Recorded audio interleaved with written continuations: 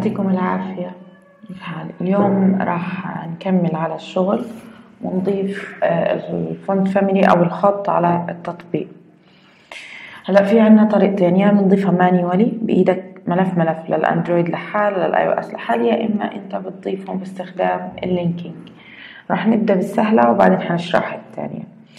الطريقة الأسهل هي بكل بساطة بدك تروح على ال root هنا وتنشئ ملف اسمه assets. سوري أنا حطيت في المكان الغلط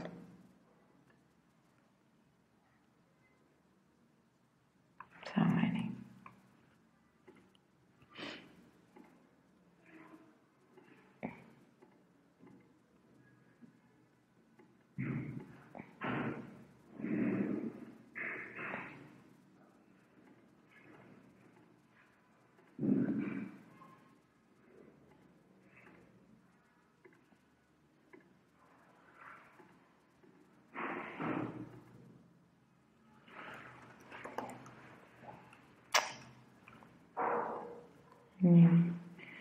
هذا ال Visual Studio Code test project ملف ال Android لحال iOS لحال كل لحال نعمل create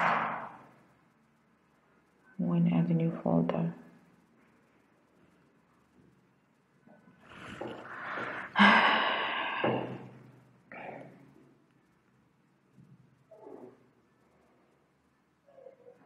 طيب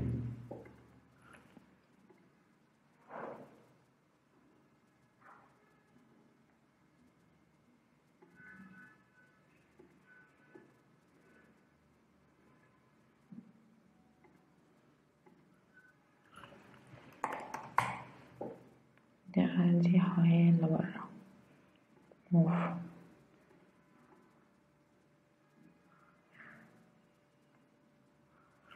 طيب نتأكد وين صارت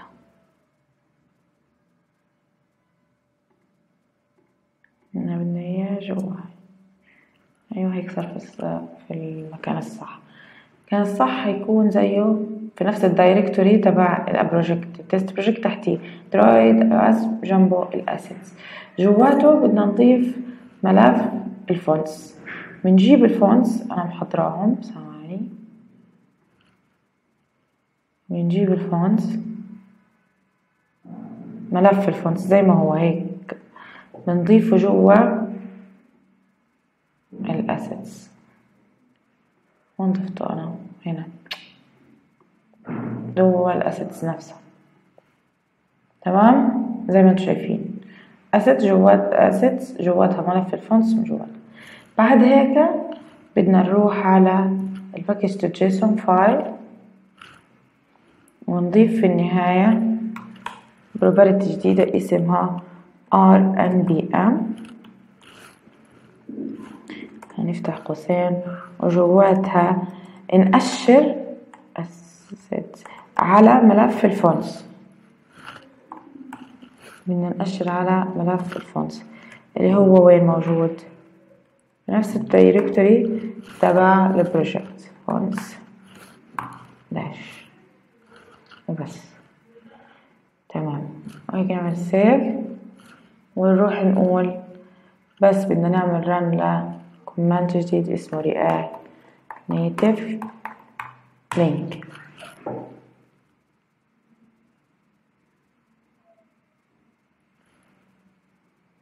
طيب هلا بدنا نتأكد إذا الخط ركب ولا لا.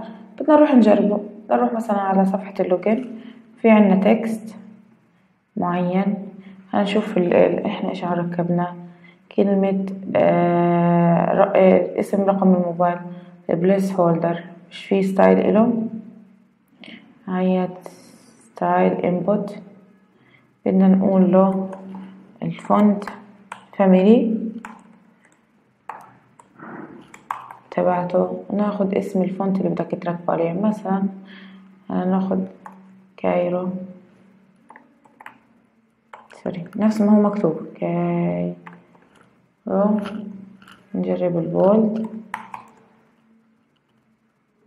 حيسيب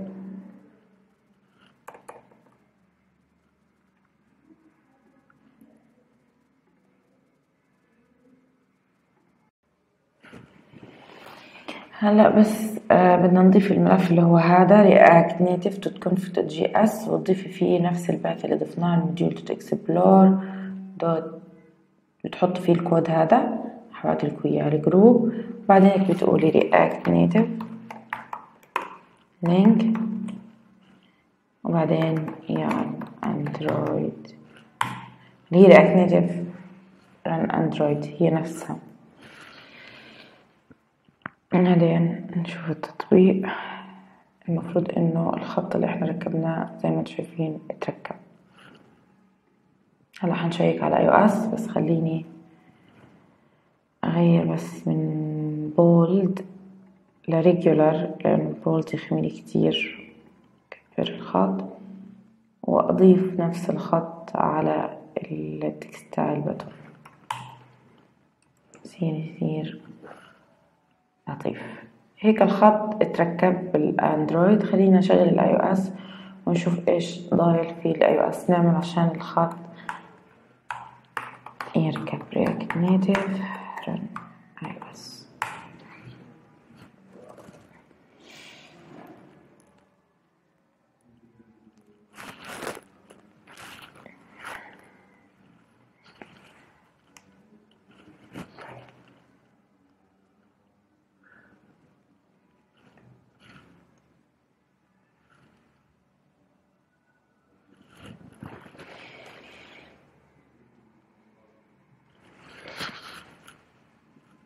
ياخد شوية وقت عشان يشتغل شوية مستناه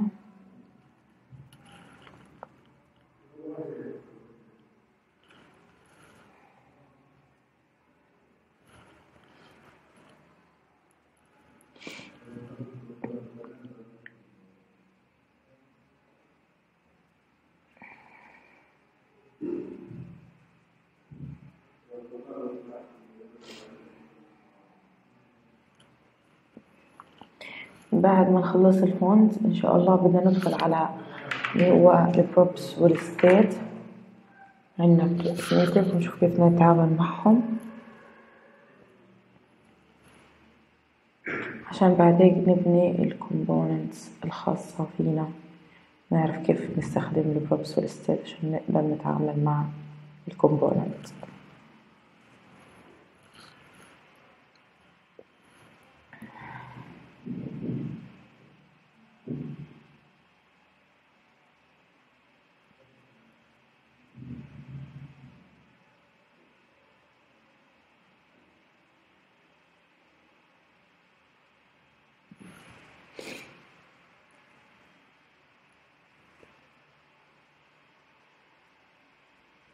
تمام.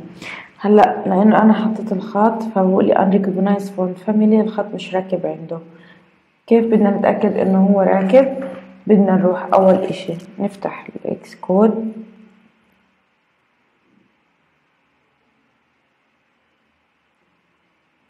ونفتح الخط هذا نفتح يا رب ال project تبعنا.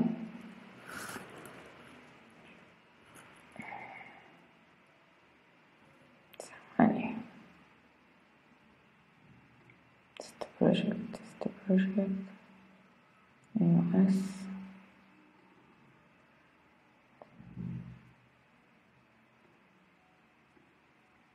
تمام.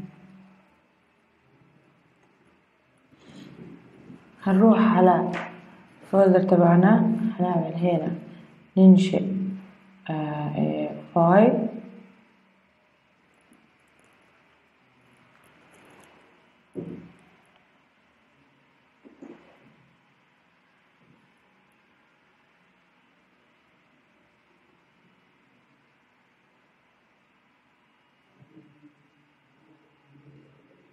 جوا ال target تبع ال project تبعنا. نعمل create أو ما لا مش سوري غلط. delete بدنا نعمل add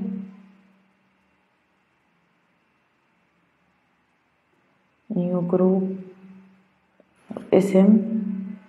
font وجواته نروح نضيف. add files اللي نضيف إيش؟ الخطوط. وين الخطوط بنلاقيها. راح نروح على ال path على ال project تبعنا. test project وين test project test project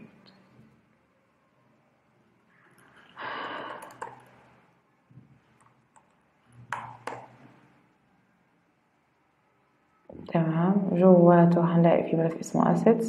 وهذا ال font. هنعلم كل ال fonts نعملهم add.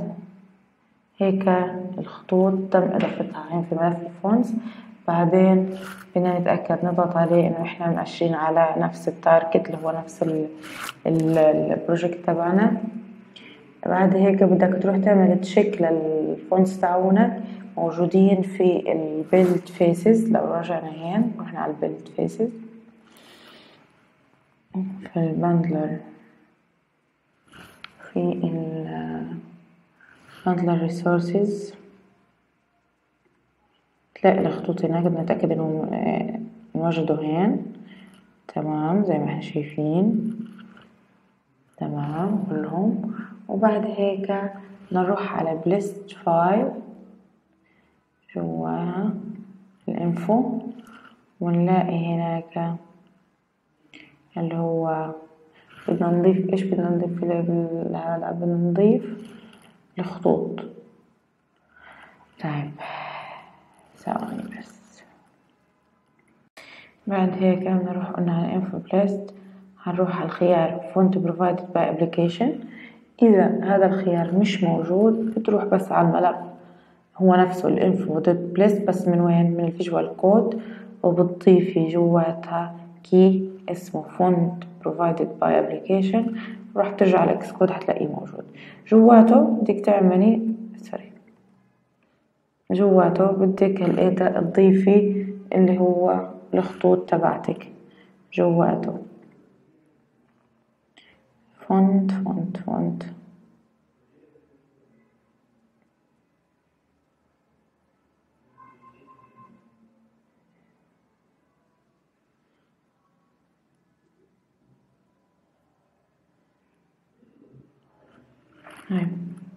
هنا هو ال item واحد وبدنا نعطيه اللي هو ثواني بس.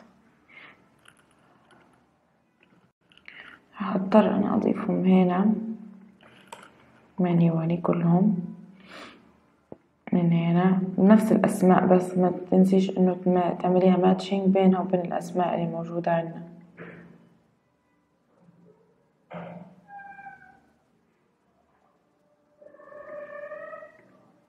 نفس الأسماء. تمام؟ هنعمل save نرجع هنا. هنعمل بعد ما نضيفهم هنا مننساش إنه بال iOS بدنا نعمل cd iOS عشان نروح على ملف ال iOS ونقول له pod install نعمل link لهم.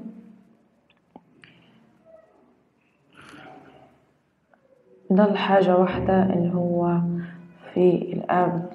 الآن بدنا نضيف هو optional مش إشي أساسي. كود اللي هو ال linking لل UI font family خليني بس أنا أنسخه لأني أنا مش حافظة صراحة. هو هذا.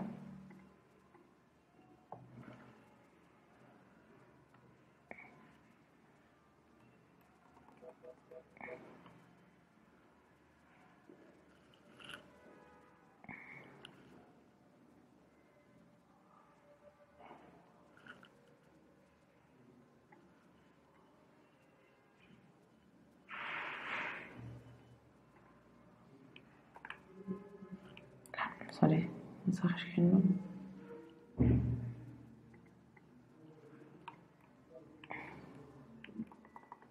هيك نسخ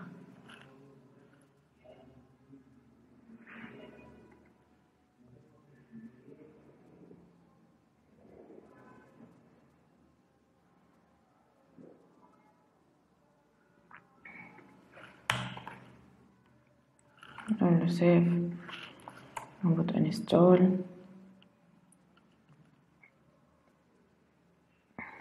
تمام نروح نقول له الايه ده نعمل له رن من هنا نتأكد نشتغل وهي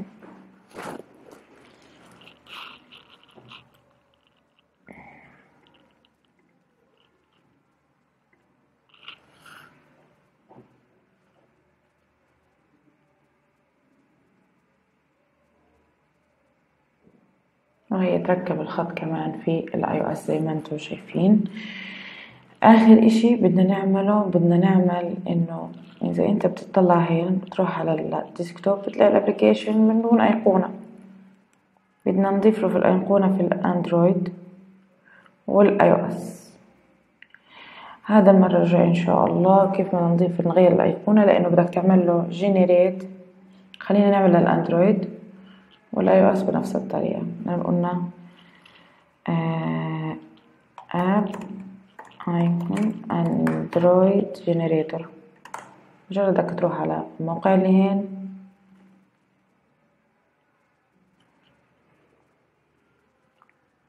تعمل drag drop للصورة أنا هحط مبدئيا أي صورة للأبليكيشن آه، من الأيقونات الموجودين. هو إله إلا أنت هذا نشوف هنا هيئته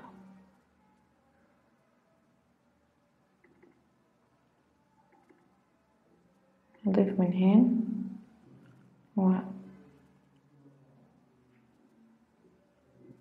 وأقول له اعمل generate هيك نزلهم لو رجعنا على ال download هنلاقيهم. نزلوا هتلاقي الأندرويد بتعمل هيك copy وبتروح على الملف تبعك.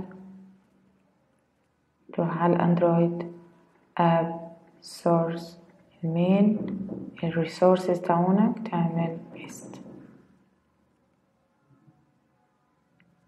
سوري شكله مش نسخهم.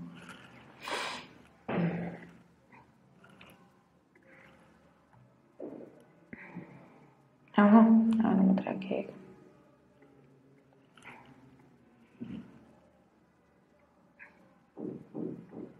replace replace هيك حتلاقيها انضافت. الأيقونة لو رحت عملت. يا اندرويد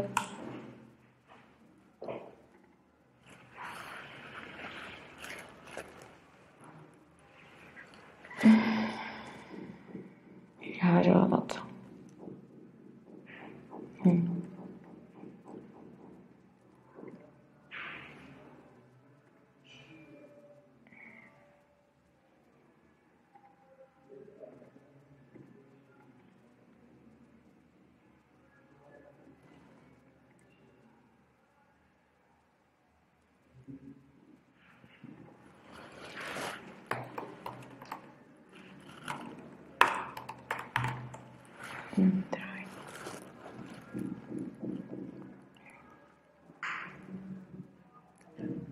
مالك بيقولنا إيش الفات عندك آه أنا أقول لكم. ال manifest بيقول إنه أنت لازم تغير لأنه كاتبين إحنا في ال manifest عنده ال round icon مأشرة على ال ic launcher إحنا بس عندنا ic round.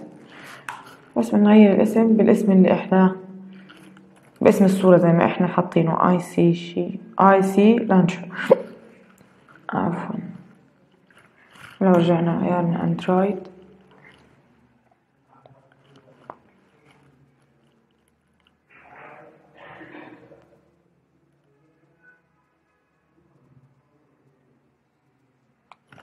تمام. التطبيق اشتغل. وهنرجع على ال desktop هنلاقي إنه الأيقونة اتغيرت. هيك تمام؟ بنكون هيك اليوم. خلصنا كيف نضيف font لل Android ولل iOS كيف نضيف ال images. كمان عشان تعرفوا ال images برضو لل iOS كيف تنضاف الملف نفسه. هتلاقي في ملف iOS اللي هو ال assets dot تعملي. بتروحي على ال Xcode في ملف اسمه images dot assets AppIcon تروحي الملف هذا إن أنت جالك هين. ثواني. تعملي هيك drag drop هين. تمام؟ تحذف القديم. والجديد بتغيري اسمه ل AppIcon وهيك save وتعملي هنا run تعملي run من أول وجديد. راح بتلاقي الايقونة إيش؟ sorry قلت لو رجعنا على ال desktop في ال iOS راح بتلاقيها الايقونة برضو اتغيرت زي ما أنتم شايفين. بس. آه هنا اليوم بنخلص فيديو اليوم. حنضيف ال font والصورة لل project تبعنا وهذا الواجب رقم ثلاثة لكم. يعطيكم العافية.